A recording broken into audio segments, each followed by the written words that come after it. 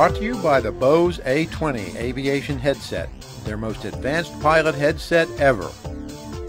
Hi everyone, I'm Mary Grady with AvWeb reporting from AOPA Summit in Hartford. We're here with the Terrafugia. They've got a new model that we first saw at Oshkosh, but today we're going to take a little more detailed view of it. And here's Carl Dietrich to uh, give us some update on what they've been doing with it. Terrafugia is currently getting very close to the beginning of testing for our two production prototype vehicles, the one we've got here at the show and one that's back in our office. Um, we've got a lot of testing lined up for these vehicles, six phases of flight testing, nine phases of drive testing before we'll be ready to deliver a product to a customer. The technical challenges primarily have to do with weight. You know, we're in a very tight weight category, trying to fit inside the light sport aircraft category, and the FAA was very helpful in issuing us a 110 pound exemption to allow us an additional 110 pounds, similar to the amphibious aircraft.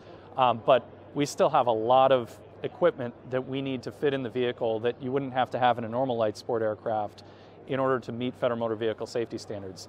Things like uh, safety cage, crumple zones, airbags, lighting systems, uh, explosive seatbelt retractors, you know, all sorts of things that we have to have in order to meet those automotive standards. And they all weigh something.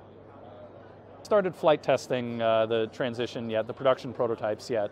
Um, when we do, we've got six phases of flight testing planned for it, starting with just the very basics, but going all the way to spin testing.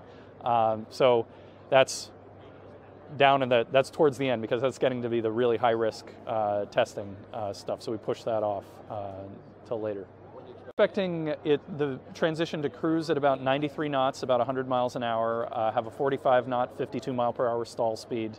Um, burn about five gallons per hour using the Rotax 912S engine, uh, or the ULS version. And uh, let's see, have a range of over 400 miles, 23 gallon tank, so 400 miles plus reserve.